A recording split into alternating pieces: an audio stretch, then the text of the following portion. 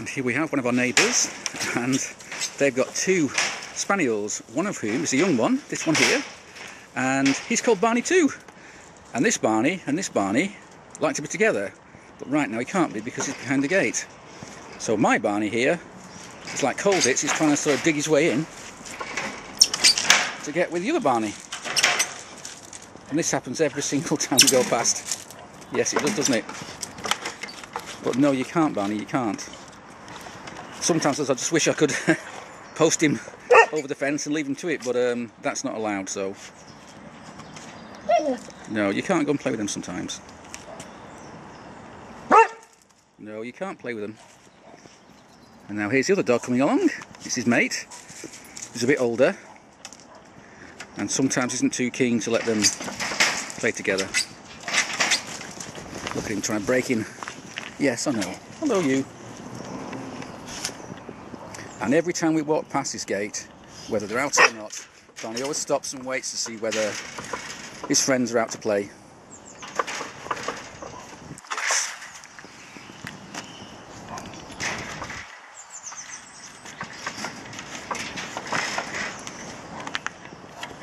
One day I think I'll just lift him over and they can play together for hours and hours and hours, but I'm not sure if the uh, folks who own the place will be too happy about that.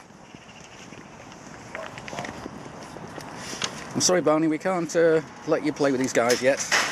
And there he goes again, trying to dig his way in. Quite cold it's, isn't it, lad? But come on, lad, we can't, uh, I'm sorry, we can't let you in there. But sadly, I can't let you play with these guys. It's not my garden, so uh, we'll just have to drag him away in a little while and we can go and play in the park instead. And here we are coming up to another one of Barney's two friends.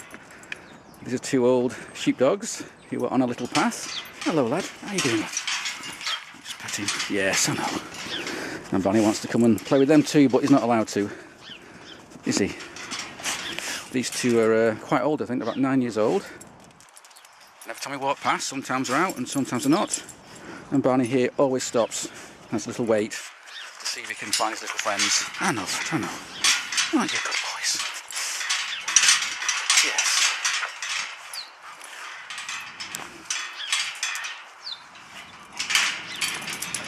As usual, Barney's trying to break in. Trying to chew his way to the uh, steel bars to get in, but that's not allowed, I'm afraid, dog. Hello, you two are... In fact, I think these two are uh, twins. I think they're brother and sister, from what I was told. About nine years old. And they're lovely, aren't you? Sometimes I say, sometimes they're out and sometimes they're not.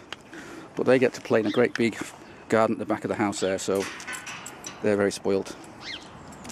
There's Barney here, now we've got to move on to uh, the park.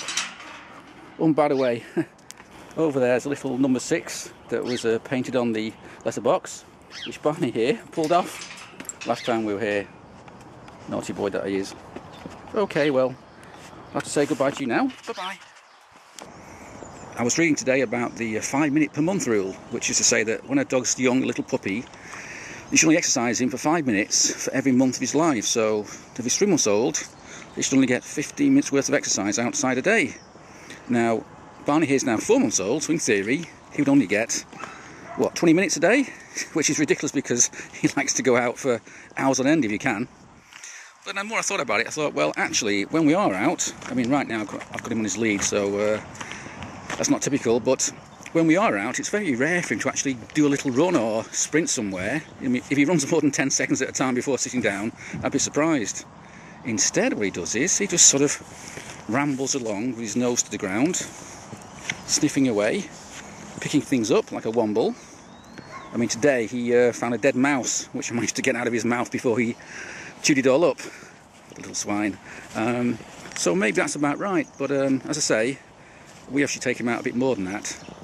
But I also read that um, one thing you should avoid is stairs at his young age, which is fine, we avoid that. And also running on hard surfaces like concrete or tarmac. And again, he doesn't tend to run on those surfaces. If he runs at all, it's always on this horrible, muddy winter grass. So I think it's pretty safe. And so far today, he's been out for about 45 minutes this morning, and now we've been out for about half an hour. But as I say, in all that time, he sort of very rarely breaks sweat. He doesn't exactly uh, put himself out or run around a lot. So now it's ambling back along this park uh, track here, this little path, and we'll soon be home again where we'll have a cup of tea and he'll have something to eat and no doubt then he'll have a little afternoon nap until tea time.